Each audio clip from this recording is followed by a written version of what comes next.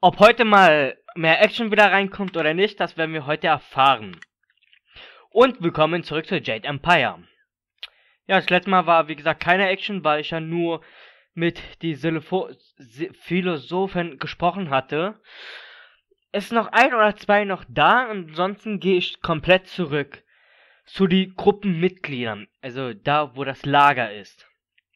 Eigentlich wollte ich das schon letztes Mal machen, aber ich habe nicht auf die Zeit geachtet und ja, es war schon dann über 20 Minuten. Es wird auch so circa wieder 20 Minuten gehen.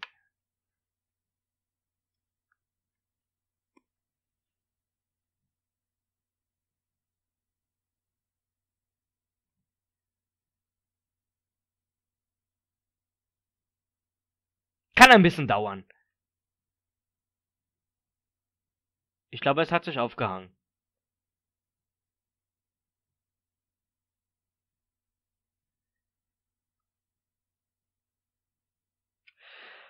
Ah, schon eine Minute vergangen. Also schon mehr als eine Minute. Oh, fertig. Gelehrter Konguiu. Guiu, oder wie der ausgesprochen wird, ist erstmal dran. Ich hoffe, ihr seid nicht gekommen, um mich zu belästigen. Wisst ihr, ich bin ein sehr beschäftigter, wichtiger und gebildeter Mann. Du und wichtig? das glaubt auch nur er.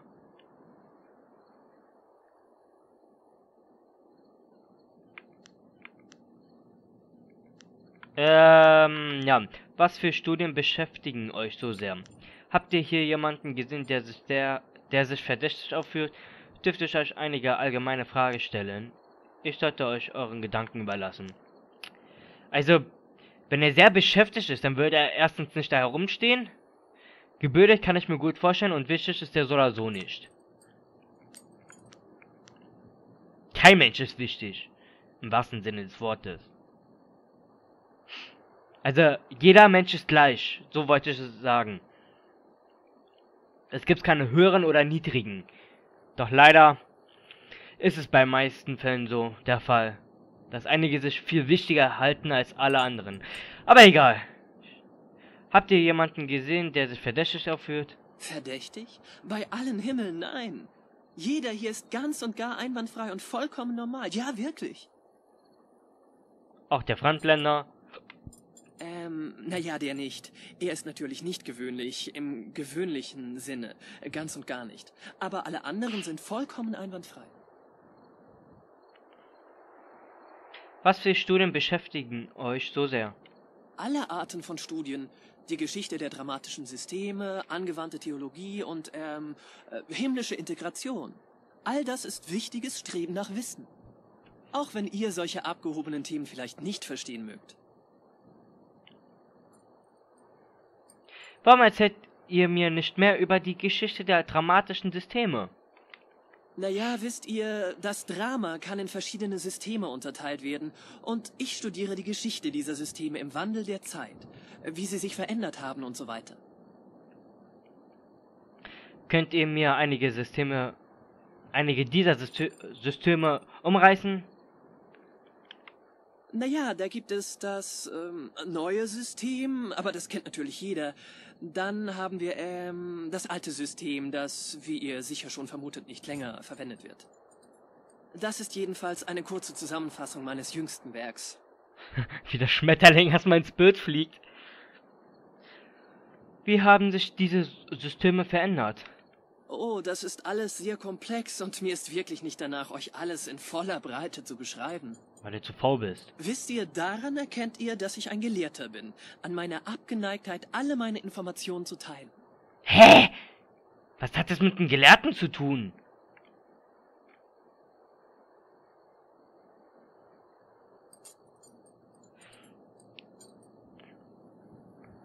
Ähm, ihr seid Yukong der Viersättige, nicht wahr? Natürlich nicht, ich bin... Ach, verflixt, das funktioniert ja gar nicht. Wie habt ihr das gemerkt?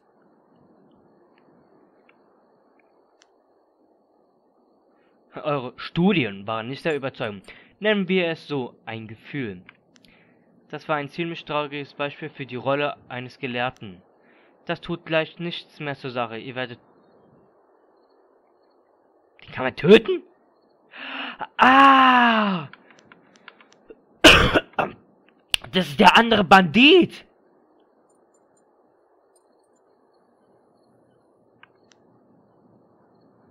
Deswegen hat es mich so... Dann seid ihr hier, um mich festzunehmen, ja? Fürst Rintor hat es auf mich abgesehen und ich habe schon so etwas geahnt. Ich schätze mal, wegzulaufen wird mir nichts nützen, oder? Wie konnte jemand mit euren Fähigkeiten überhaupt einen Adeligen betrügen? Wenn ihr weglauft, werdet ihr nur erschöpft sterben. Wie konntet jemand mit euren Fähigkeiten... Ich bin zu Unrecht angeklagt. Ich habe Edelfrau Rinto nur gebeten, mich mit ein wenig Silber als Schauspieler zu unterstützen. Mäzenatentum nennt man das. Sie stimmte zu, aber ihr Mann wurde wütend, als er es herausfand. Und jetzt habe ich ein Todesurteil am Hals. Das ist nicht gerecht. Und wenn ihr Anstand hättet, würdet ihr mir helfen, aus dieser Stadt herauszukommen, statt mich auszuliefern. Das ist die einzige Möglichkeit, fürs Rintos Zorn zu entkommen. Habt ihr Beweise dafür, dass ihr zu Unrecht angeklagt seid? Was wäre euch meine Hilfe wert? Ich denke, ich werde euch helfen, statt eurer Kopfgeld zu kassieren. Mit euch zu reden bringt mir kein Silber. Höchste Zeit, ein, einen Kopf einzusammeln.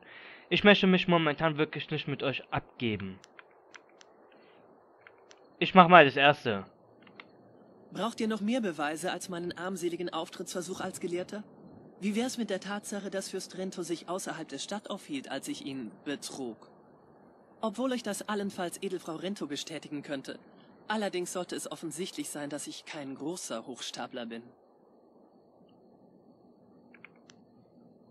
Was wäre euch meine Hilfe wert? Ich muss zugeben, dass ich mein Kopfgeld nicht überbieten kann, aber ich könnte euch die Hälfte geben. Und ich hätte auch eine Idee, wie ich aus der Stadt gelangen kann. Ich denke mal schon, dass er unschuldig ist. Ansonsten ja. Ich denke, ich werde euch helfen, statt eurer Kopfgeld zu, zu kassieren. Wenn ihr euch sicher seid, sollten wir sofort Hauptmann Sinn aufsuchen. Wäre jetzt eine gute Zeit, mich unten durch das Tor zu schleusen? Ich bin bereit, euch jetzt zu helfen. Der einzige einfache Weg aus dieser Stadt führt durch das Tor, das Sinn bewacht, und der hält nach mir Ausschau. Wenn ich mich aber als Söldner verkleide und an ihm vorbeischleiche, könnte ich vielleicht entkommen. Ihr müsst mir jedoch helfen und ihn ablenken. Erzählt ihm einfach, ich wäre bereits entkommen und alles wird klappen. Ich wüsste nicht, was passieren soll.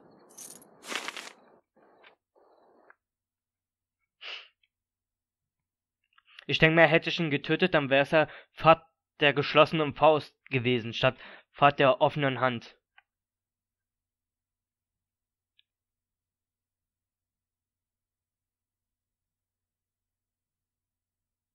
Den habe ich ja total vergessen.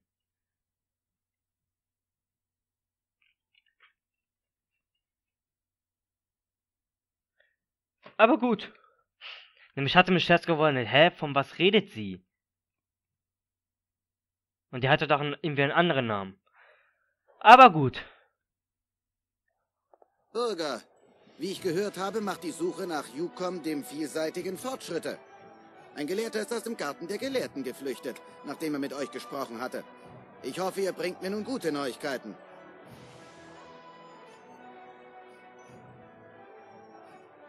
Was? Nein, wir werden ihn nicht verraten. Yukong, der Vielseitige, hat die Stadt verlassen. Wie ist er denn an mir vorbeigekommen? Einen Flieger hatte er ja wohl nicht. Seid ihr sicher, dass er fort ist? Würde etwas Silber eurem Gedächtnis vielleicht auf die Sprünge helfen? Nun, wie sieht es aus? Wie er sich das mal hingepackt hat. Entschuldigung, ich muss mich kurz einkriegen. Oh Mann, ey. Meine Nachforschungen haben eindeutig ergeben, dass er aus der Stadt verschwunden ist. Äh, jetzt, wo ihr zusätzlich Silber erwähnt habt, ist mir wieder ein. Der Kerl da drüben, das ist Yukong. Seht mal, wie diese Schlampe die Hüften schwingt für den Söldner da. Hm, ich weiß nicht, wie Yukong an uns vorbeigekommen ist. Ob er jemanden von meinen Leuten bestochen hat? Nun, die kaiserliche Armee hat mehr Silber als irgendein Hochstapler, wenn ihr versteht, was ich meine. Was könntet mir... Was könnte er mir schon anbieten? Ihr werdet ihn nicht mehr finden, er ist fort. Euer Angebot ist verlockend. Dieser unbeholfene Trottel da, dort drüben ist, euer, ist euer Mann. Ihr seid äußerst großzügig, Hauptmann. Der Kerl dort drüben, das ist er. Ich sollte den verfluchten Kerl festnehmen. Moment mal. Hattet ihr euch nicht mit einem Gelehrten unterhalten, der nervös zu sein schien? Und jetzt ist Yukong auf einmal spurlos verschwunden. Sehr verdächtig. Uh -uh. Was, wenn ich euch das anderthalbfache des normalen Kopfgeldes bieten würde? Könntet ihr euch dann vielleicht erinnern, wo er steckt? Alter, der ist richtig hartnäckig. Ich glaube, es wird noch zu einem Kampf kommen. Ich kann euch nicht mehr sagen, ganz gleich, was ihr mir anbietet. Dieser Söldner ist eurer Mann. Hinter der Verkleidung verbirgt sich Yukong. Wir werden ihn rausschmuggeln. Hm, tja, wenn ihr meint? Ehrlich gesagt, obwohl Fürst Rinto es nachdrücklich behauptet. Ich bezweifle, dass Yukong ein Meisterverbrecher ist. Vielleicht werde ich die Sache mit dem Kopfgeld für diesen Burschen einfach für erledigt erklären. Nun, damit wäre dann euer Auftrag beendet. Es ist wirklich schade, dass ich jemanden mit euren Fähigkeiten nicht mehr Arbeit bieten kann. Heu nicht. Was könnt ihr mir über die Stadt erzählen?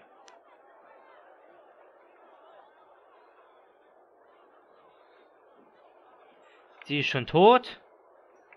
Was willst du? Leider weiß ich nicht viel mehr als das, was die ehrenwerte Angehörige der Lotus-Assassinen erzählt hat. Irgendeine Verräterin aus dem Süden hat die Autorität des Ministeriums für Harmonie in Frage gestellt. Außerdem wird...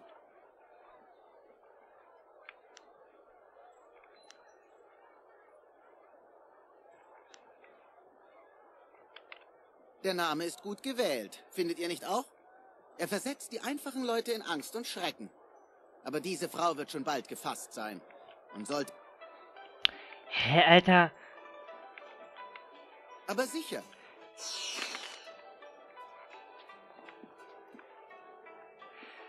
Was ich nicht verstehe, sie ist doch schon tot, warum wird das jetzt nochmal erwähnt? Tore der Kaiserstadt. Kommt man da durch? Bitte nicht den Wächter, danke. Ups. Schön.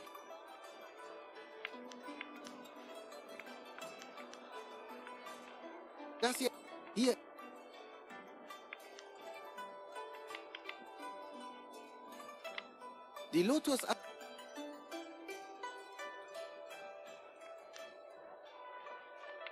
Nein, die Lotus-Assassinen werden sich selbst um diese Verräterin kümmern.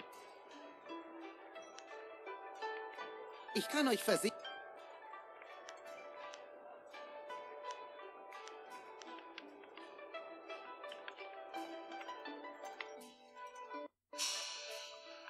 LOL. Was? Man kann zurück? Awesome.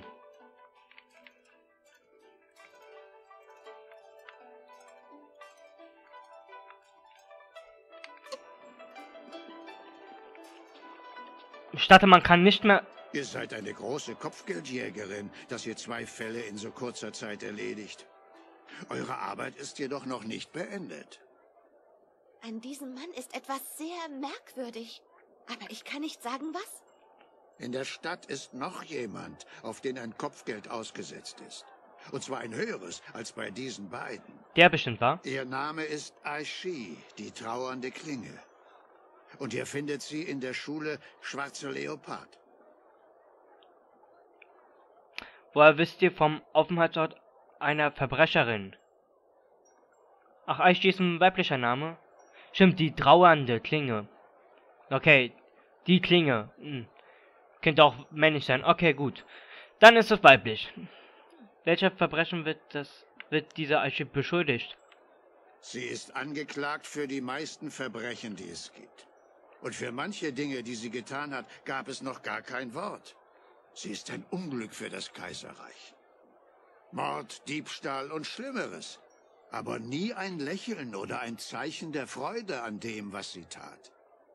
Deswegen wird sie Aishi, die trauernde Klinge genannt. Warum erzählt ihr mir das? Weil ich möchte, dass ihr es wisst. Meine Rolle in dieser Angelegenheit muss euch nicht interessieren. Ich bin einfach ein alter Mann, der die Chance sieht, dass aus Schlechtem etwas Gutes hervorgeht. So wie Morgenstern habe ich irgendwie kein Vertrauen in ihn. Woher wisst ihr vom Aufenthaltsort einer Verbrecherin? Ich habe sie in diese Stadt kommen sehen. Und das teile ich euch mit. Daran ist nichts Geheimnisvolles. Das heißt aber noch lange nicht, dass du weißt, wo sie abgeblieben ist. Du hast gesehen, dass sie in die Stadt gekommen ist.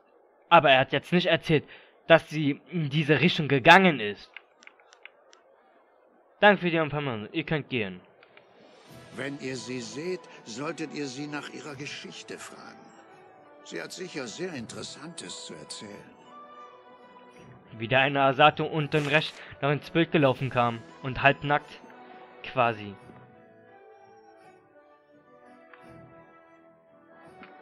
Manchen, willst du irgendwas sagen, oder? Nein.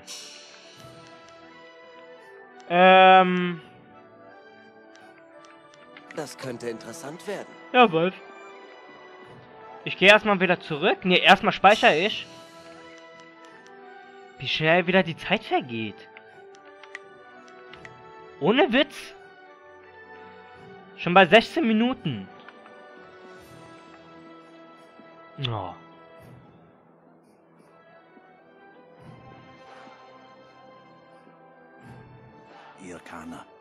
Och man. Ihr interessiert euch also für die Lotus-Assassinen. Nicht viele wagen es, unsere Aufmerksamkeit zu erregen, indem sie sich in aller Öffentlichkeit nach uns erkundigen. Ist er hässlich.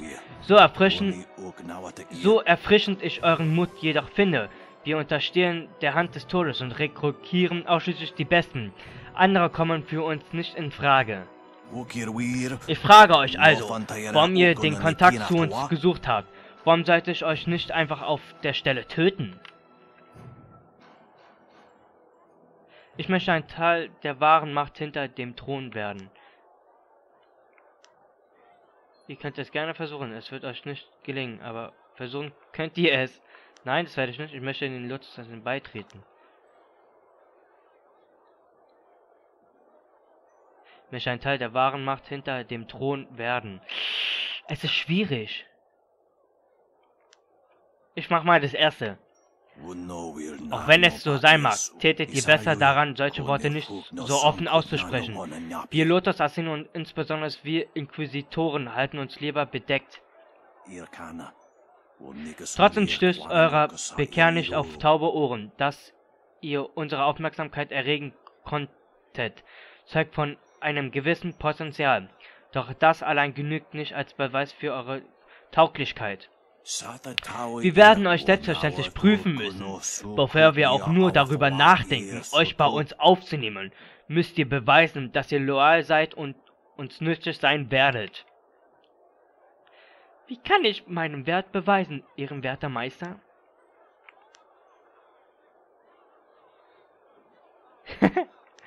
Was soll ich also tun?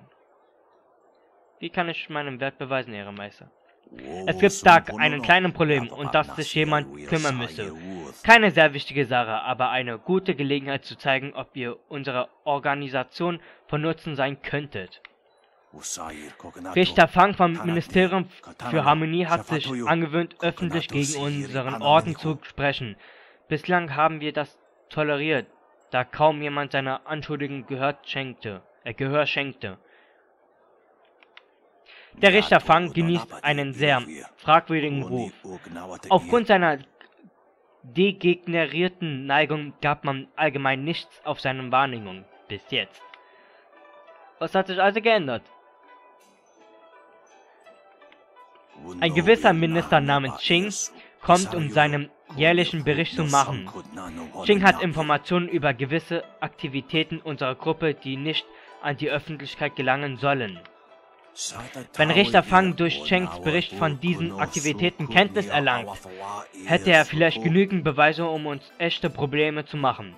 Wir sehen uns dann zu drastischen Maßnahmen genötigt. Doch wir ziehen es vor, die Sache zu bereinigen, bevor sie zum Problem wird. Ich hatte vor, es selbst zu tun, doch ihr könntet das übernehmen und dabei eure Tauglichkeit beweisen.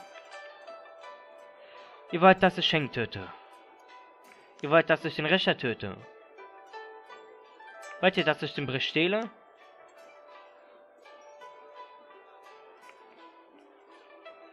Was wäre also meine Aufgabe?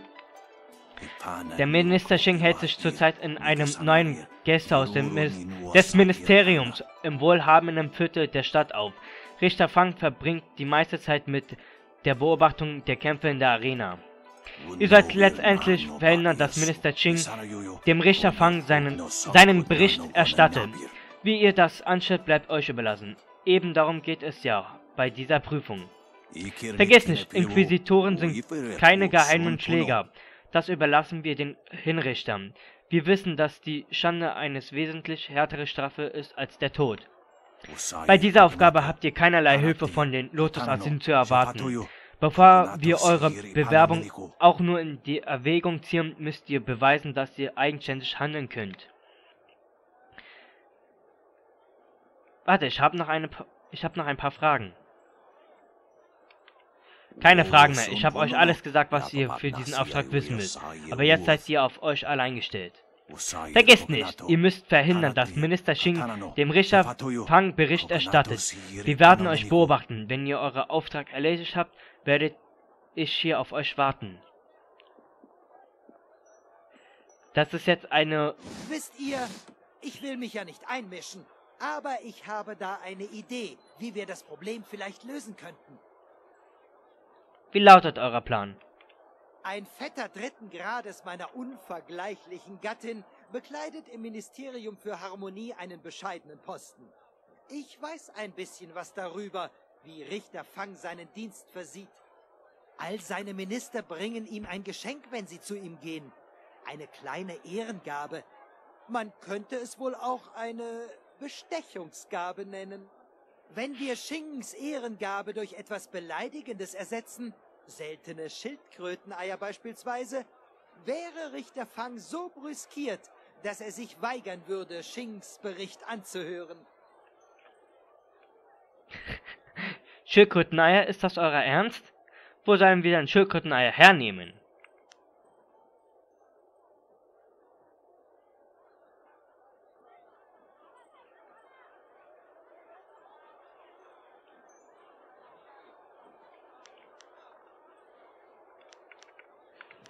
Schildkröteneier, ist das euer Ernst?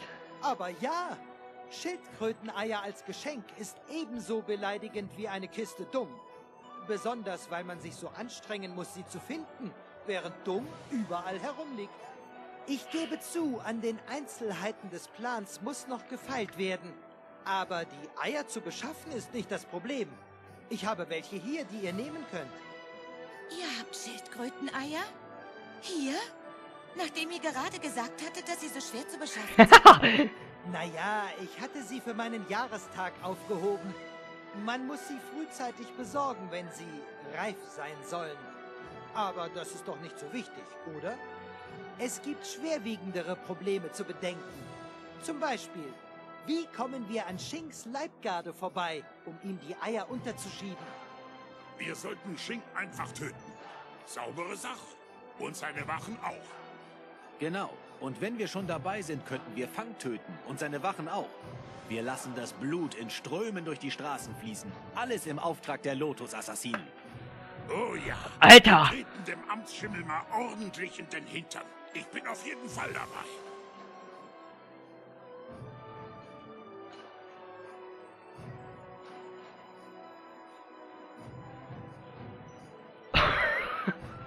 Ich glaube, Zu hat das eher sarkastisch gemeint.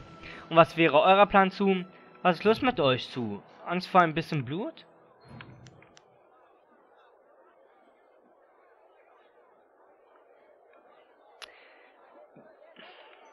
Ich bin kein Feigling. Aber an meinen Händen klebt jetzt schon mehr Blut, als ich jemals abwaschen kann. Das wisst ihr ja. Ich habe keinen Plan für euch. Keine einfache Lösung. Aber es ist keine gute Idee, mit den Lotus-Assassinen zusammenzuarbeiten. Davon kann nichts Gutes kommen. Wir haben wirklich keine andere Wahl zu. Wenn wir Meister Li überhaupt retten können, dann nur auf diese Weise. Aber mir gefällt es nicht, dass Minister Xing durch uns in Schwierigkeiten gerät. Vielleicht sollten wir zunächst in der Arena nach Richter Fang sehen. Möglicherweise können wir ja verhindern, dass er diesen Bericht erhält, ohne dass Xing dabei zu Schaden kommt. Oder sonst jemand. Vielleicht habt ihr recht, Morgenstern. Ich hoffe nur, dass wir am Ende nicht alles und jedes opfern um eines einzigen Mannes willen. Selbst wenn es euer, euer geliebter Meister Lee ist. Wie wir es machen, ist letztendlich eure Sache, aber denkt daran, die Inquisitoren sind keine Schlägertruppe. Sie gehen subtiler vor. Endlich! Bin schon bei 25 Minuten. Uh. Na, jedenfalls ist jetzt... Ah, cool. Aber die drei werde ich das nächste Mal ansprechen. Ich bedanke mich, dass sie ein bisschen zugesehen hat. Es war ein klitzekleines bisschen Action dabei, aber ansonsten war es eigentlich im wahrsten Sinne des Wortes kann man es wieder als langweilig bezeichnen. Aber naja, so ist es halt. Ich habe ja euch vorher gewarnt. Ich weiß, ich habe schon öfters gesagt. Aber mal gucken, wie es sich entwickelt. Dann bis zum nächsten Mal. Tschüss.